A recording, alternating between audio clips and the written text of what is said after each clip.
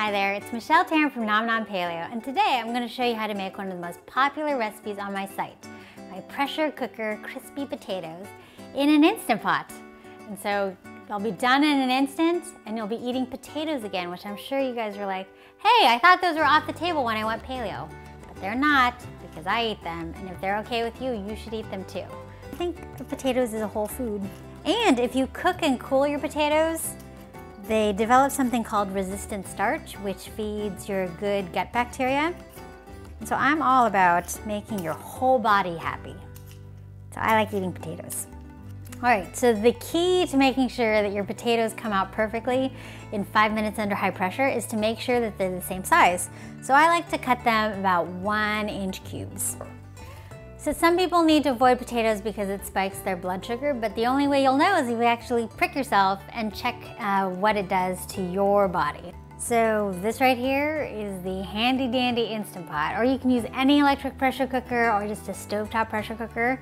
But this is what uh, has your potatoes ready in like an instant, no pun intended. So you just put in about a cup of water, into your cooking insert and then you put in a steamer insert. I like these silicone ones, um, especially if I have to grab something out because these handles stay cool, but you gotta fold them in so they don't uh, you know, interfere with the locking mechanism. So you just plop in your potatoes and then if you have a steamer insert like this one, just fold them on top of each other just so they're not pointing straight up. Lock the lid Make sure that the vent is in the sealed position so it can come up to high pressure. And then you just cook it under high pressure for five minutes. And then once the cooking is done, you actually let it sit for about 10 minutes so that the pressure comes down naturally because the potatoes will keep cooking while uh, the pressure is coming down. And they're all ready. So because these are silicone, they're not gonna burn my hand. So now these potatoes are perfectly steamed. And so you can either put them in the fridge and you can cook them later or you can fry them up right away right now. So I'm gonna show you how to do that. So now I'm gonna just heat up my cast iron skillet. I'm gonna throw in a little bit of fat and then I'm gonna fry those cooked potatoes till they're nice and crunchy on the outside. You want the pan, I mean medium high, but you want it to sizzle as soon as your potatoes hit. And you want to put the potatoes in a single layer so they don't overcrowd because you want them to get crispy and not steamy.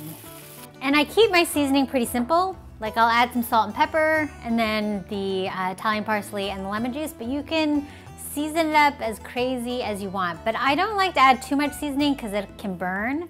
So I like to stick with salt initially, and then when it's close to the end, you can add whatever fancy stuff you want. I actually haven't put any seasoning on it yet because sometimes I feel that the pepper can burn and the salt can kind of soften the potatoes and I want them really crunchy.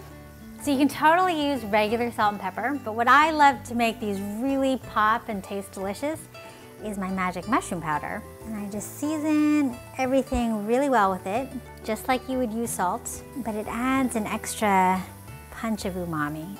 Oh, and it smells really good once it starts hitting the hot pan. And then I'm gonna put it on a platter. I'm gonna add some lemon juice and then some fresh Italian parsley. And there you have it, my favorite way to cook potatoes, pressure cooker crispy potatoes. Because you know what? Potatoes can be paleo sometimes.